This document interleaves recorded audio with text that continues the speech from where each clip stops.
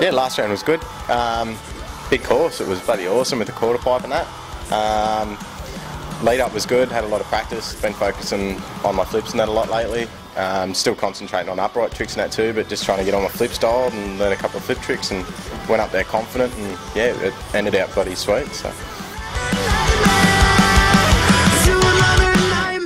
Um, just keep it smooth, keep it simple, um, know the tricks that I can do and do them well and um, yeah, just keep nice, big, flowing and yeah, ha and have fun with it.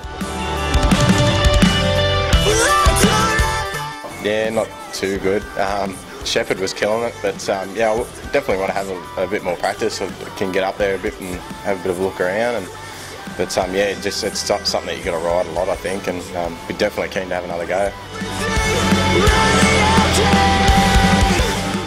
Not so much. I, I, tend to spend the mornings kind of working on upright tricks in the afternoon, just working on flip tricks. So I kind of just set out different times for it and just focus on them and yeah, keep keep everything really good. So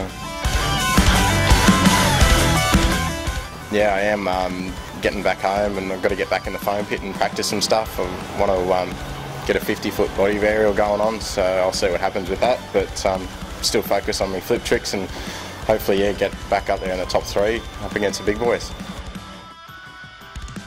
Yeah, just um, like to thank all my sponsors, uh, Liquid Militia, Kirtland Motorcycles, also we've got here Motul, OK, Bike Pits is closed, Talon, all those guys. Um, big thank you to all of them, they helped me out a lot, um, and I'd like to thank my girlfriend and her family for letting me have the compound out there and train out there and Rhett and hope you get better soon. Thanks.